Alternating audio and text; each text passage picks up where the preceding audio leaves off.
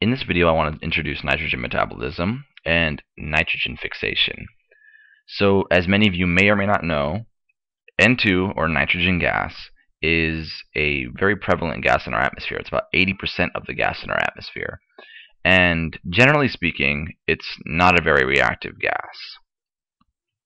In addition, gaseous nitrogen is not a usable form of nitrogen. What do I mean by that? Well, us or us humans need nitrogen for biological molecules, and many other organisms do as well.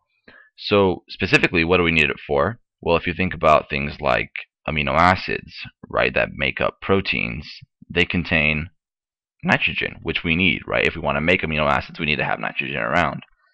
In addition, um, nucleic acids, right, we need to, which are made from nucleotides, um, they have nitrogen in them as well. So we need to have nitrogen in order to make these biological compounds.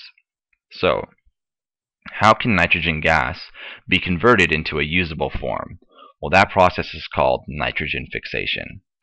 So, nitrogen fixation requires two things.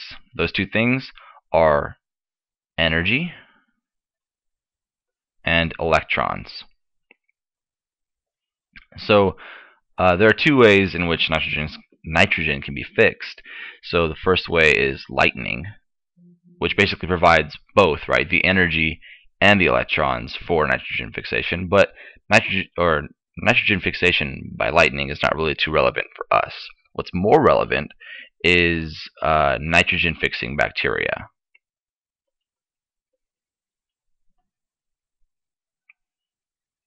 Nitrogen fixing bacteria. So these things are pretty important. Where are these nitrogen fixing bacteria? They exist in the roots of leguminous plants. So things like soybeans and peanuts and peas, in the roots of those plants, there are these bacteria. So the bacteria and the plant have a symbiotic relationship. So and they both benefit from the relationship together. So the plants, what they get is they get a reduced form of nitrogen, which is a usable form of nitrogen. Specifically, that usable form of nitrogen is ammonium ion. Okay, so the plant benefits in that it gets a reduced and usable form of nitrogen from bacteria, which is ammonium. The bacteria, what they get is they get ATP, right, which provides energy for the production of the usable nitrogen because this process is highly endergonic and requires energy. So the bacteria gets ATP uh, from the plant, and then the plant benefits in that it gets the ammonium from the bacteria. So they both they both benefit from this relationship. So how does the actual nitrogen fixation though? How, how does that actually happen? So there's this complex of enzymes called the nitrogenase complex. What the nitrogenase complex simply does is it takes gaseous nitrogen and turns it into ammonium ion. So initially, we have a gaseous nitrogen, and that of course has one, two, three, four, five pairs of electrons for a total of 10 electrons. What we're going to do in this process is we want to create two ammoniums. So we're going to add six electrons and eight protons, right? Six electrons because um, each of these ammoniums have eight electrons total. So this is going to be a total of 16 electrons, of course. And each ammonium has four uh, hydrogen on it. So those come from eight protons.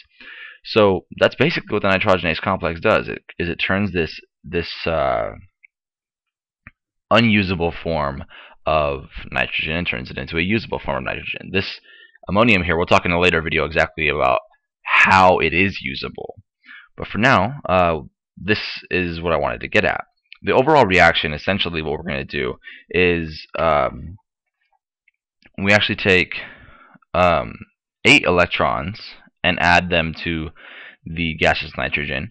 And this process costs 16 ATP, which is actually pretty crazy. Let me keep actually the gray color going here. So we have 16 ATP, which of course is uh, turned into 16 ADP and 16 inorganic phosphates. These of course came from the plant, right? Now uh, we added 10 protons. And that might not make sense just yet, right? Adding 8 electrons and 10 protons because over here we said six electrons and eight protons, but we'll see what I mean in just a second. And of course, we created those two ammoniums, which are now usable. But we also created a hydrogen gas, right? So this hydrogen gas used up two protons and two electrons. So the extra two electrons from here and the two extra protons here were used to make a hydrogen gas. So now this ammonium can now be used for the synthesis of amino acids, which can be used for proteins, and of course nucleotides, which can be used for production of nucleic acids like DNA and RNA. Hope that video was helpful. Thank you for watching. One last thing I'd like to mention is that I'm a tutor. If you live in Southern California, feel free to contact me via email at moofuniversity at gmail.com and check out the description below for a little bit more information. Thanks for watching.